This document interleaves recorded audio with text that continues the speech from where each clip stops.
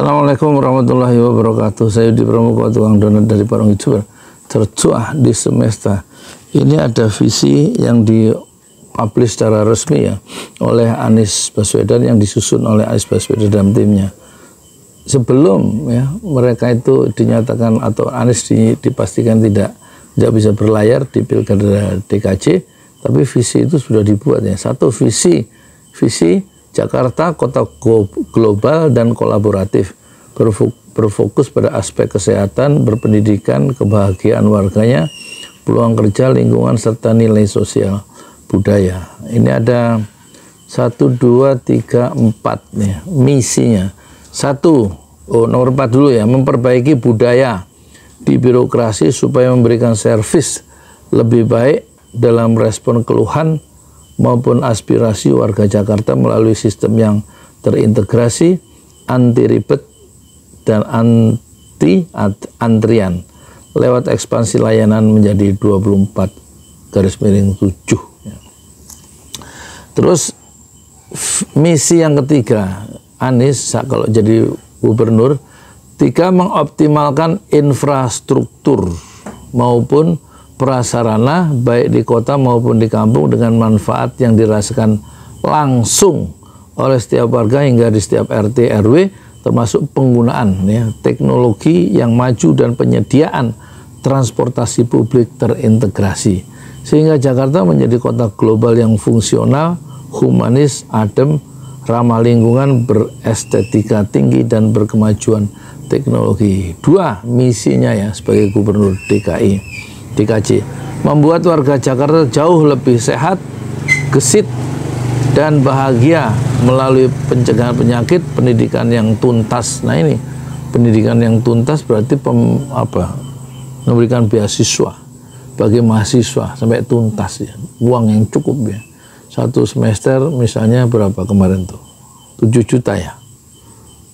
8 semester. Mantep itu pening, itu pendidikan yang tuntas, peningkat, peningkatan berbagai aspek literasi termasuk digital, serta pengembangan kegiatan keagamaan dan pemberdayaan seni budaya agar menjadi masyarakat yang guyup dan beretika.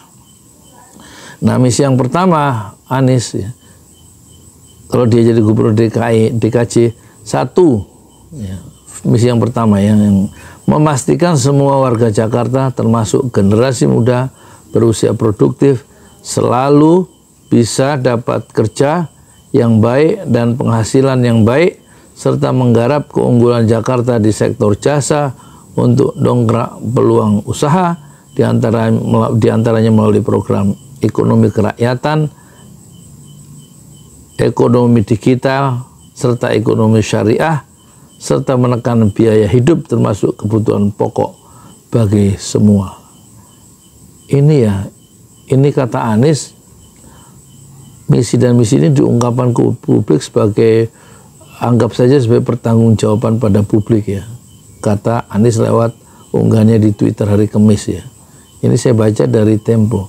Nah, persoalannya adalah visi dan misi Gubernur Pramono Anum dan Rano Karno apa dan juga RK dan uh, apa namanya RK dan RK dan Suswono apa? Kita belum tahu sama sekali. Jadi kalah cepat dengan Anies ya. ya. Jadi diunggah di media sosial X resminya at Anies Baswedan pada Kamis 26 September. Jadi kata Anies, visi misi itu telah disusun bersama timnya sebelum dipastikan ya, sebelum ya dipastikan tidak mendapat tiket maju di Pilgub Jakarta. Jadi visi, misi dan program untuk Jakarta sejak awal memantapkan niat maju dalam Pilgub DKI, kami langsung bergerak menyusun visi, misi dan program untuk Jakarta ya. Jadi Anies juga mengungkapkan penyusunan visi misi itu dilakukan bersama dua tim dengan tugas masing-masing tim Tim pertama mengelola segala kegiatan kampanye dan tim kedua untuk menggodok kebijakan. Alasannya apa? Kok Anies itu merilis visi misinya itu di uh, di Twitter atau di media sosial X itu adalah sebagai bentuk yang pertanggungjawaban kepada masyarakat meski dia gagal ikut pertarungan di Pilkada Jakarta 2024. Ini satu tradisi yang bagus ya.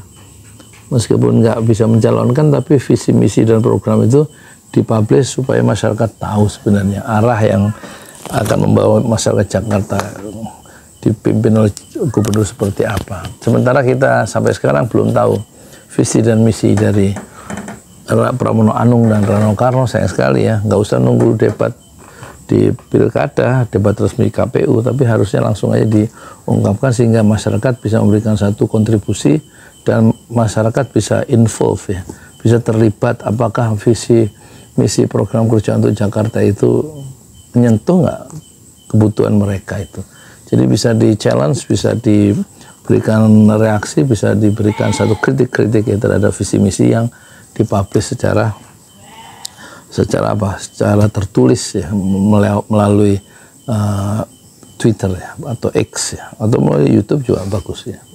Sementara Siswono RK Siswono juga belum kita belum tahu visi misi mereka. Jangan sampai kita membeli kucing dalam karung. Assalamualaikum warahmatullahi wabarakatuh.